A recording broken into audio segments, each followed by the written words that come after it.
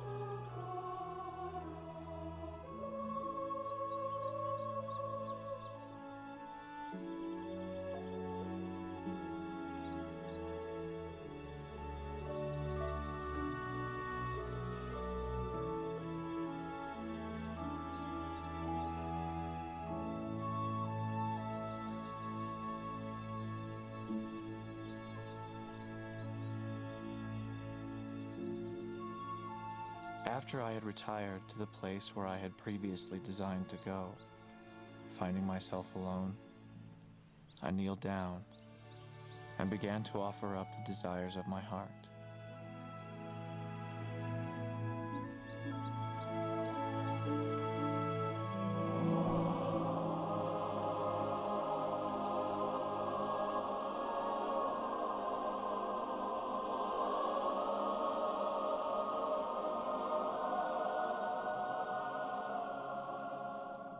I saw a pillar of light above the brightness of the sun, which descended gradually until it fell upon me.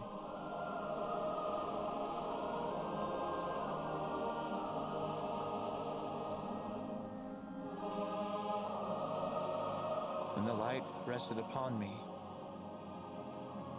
I saw two personages whose brightness and glory defy all description. One of them spake unto me, calling me by name, and said, pointing to the other, Joseph, this is my beloved son. Hear him.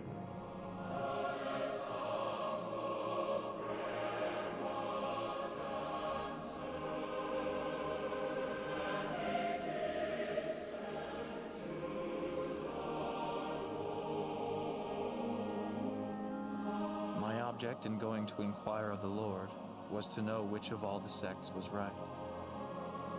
I was answered that I must join none of them. And many other things did he say unto me.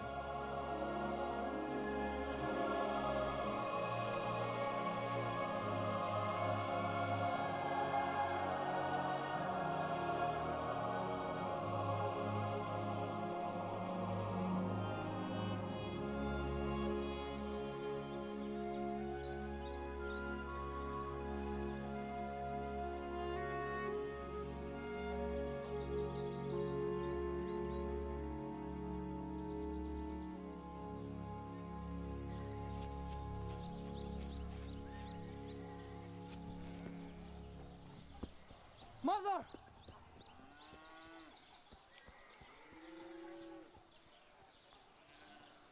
There are no such things as visions and revelations in these days. I don't blame anyone for not believing my There never will history. If I had not experienced what I have, I would not believe it myself. I thought you believed me. It was oh, nevertheless a fact that I had beheld a vision. Don't waste your time with such things. I had actually seen a light, and in the midst of that light, I saw two personages, Don't talk about them to anyone. and they did in reality speak to me. I knew it, and I knew that God knew it, and I could not deny it.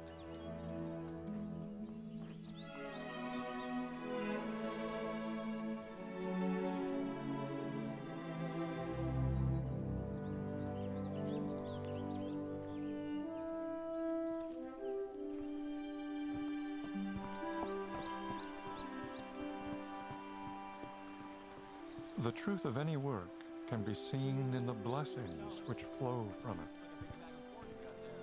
Joseph had been called of God. He had a work to do. Through him, the Lord revealed new scripture, a record which contained a fullness of the gospel. There shall be no other name given, It was translated through the gift children and power of God. only in and through the name of Christ. The Lord and published as the Book of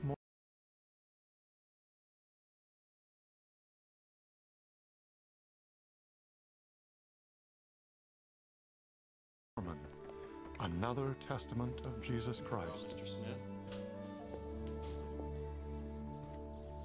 If ye shall ask with a sincere heart, having faith in Christ, he will manifest the truth of it unto you by the power of the Holy Ghost.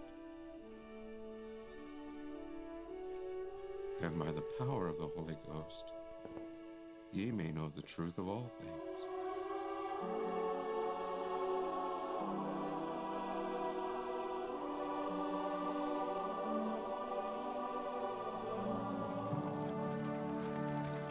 His living prophet, the Lord restored his church. we proceed in organizing ourselves. The fullness of the gospel was available again in beautiful simplicity.